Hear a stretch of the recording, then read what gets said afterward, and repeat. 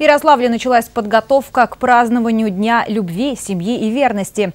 Первой в череде проектов стала благотворительная акция помощи многодетным и малообеспеченным семьям.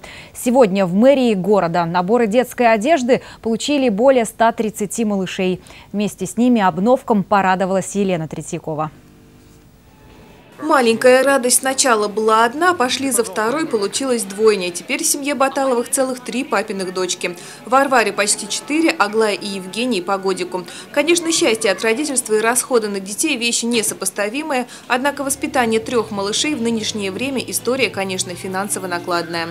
Надо, да, детки быстро растут, а тут двое, и сразу расходы, сразу все вдвойне.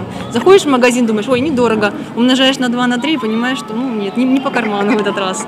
С обновлением детского гардероба помогают подобные благотворительные акции. Проект стал ярким примером удачного социального партнерства. Это результат сотрудничества мэрии города и областного отделения Фонда милосердия и здоровья. В качестве спонсоров выступили представители профильного бизнеса. Детский гуманитарный груз в этот раз пришел адресно. Его получатели – малышки от 0 до 3 лет. В семье Дерстевых дочка только одна. Двое мальчишек уже подросли. Участие в акции стало для мамы годовалой Анечки приятным сюрпризом.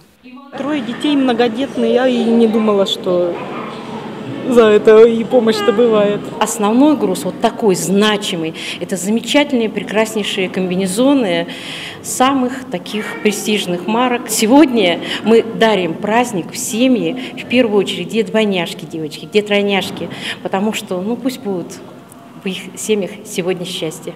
В зале собрались около сотни таких семей, а в целом по городу их число подошло к отметке в 2000. Следующие акции, которые станут регулярными в таком формате, позволят уже другую категорию э, охватить детей.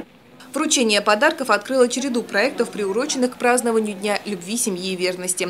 За ним последует парад колясок 5 июля. 8 здесь будут чествовать семейные пары с полувековым стажем. Елена Третьякова, Игорь Мосин.